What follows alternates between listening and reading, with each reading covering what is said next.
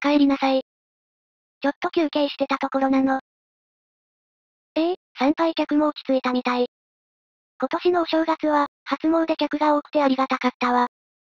でも、お正月を過ぎると普段通りの生活に戻っていくから、名残惜しいわね。さあ、そろそろ食事の用意しなきゃ。あら、あなた、お弁当を買ってきてくれたの？年末年始は大変だっただろうから、私にちょっと遅いお正月休みを取ってほしいっていうの？まあ、優しいのね。じゃあ、お言葉に甘えて2、3日ゆっくりさせてもらおうかしら？でも、この時間に何もしないのは退屈だわ。そうだ、耳かきでもしてあげましょうか？ええ、もちろんよ。今日は、あなたも仕事始めで疲れたでしょう？ふふふ、わかるわよ。私のお膝に横になってね。早速始めていくわね。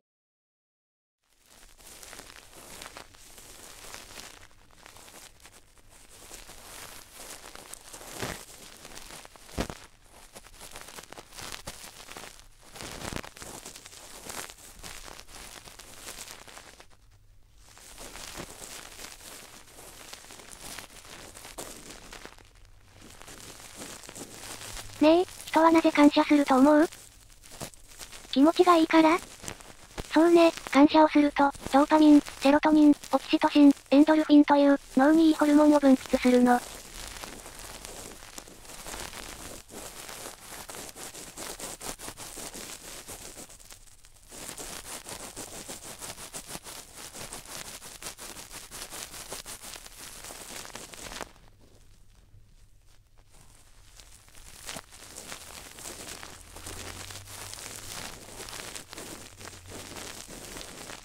脳にいいということは、体にもいいということにもなるわ。人は、それを本能的にわかっているのかもしれないわね。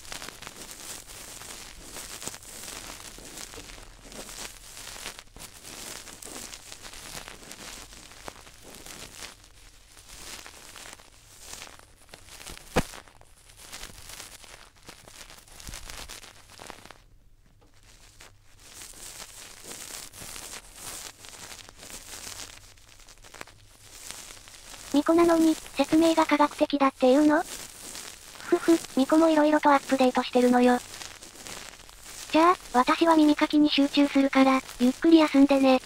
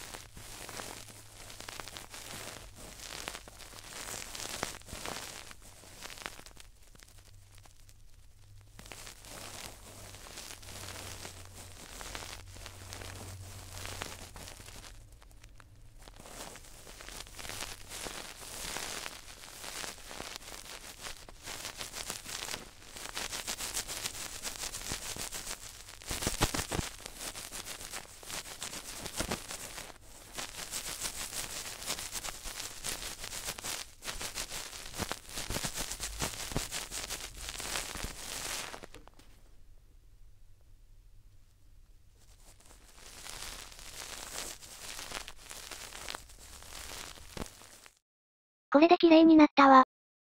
それじゃあ、おやすみなさい。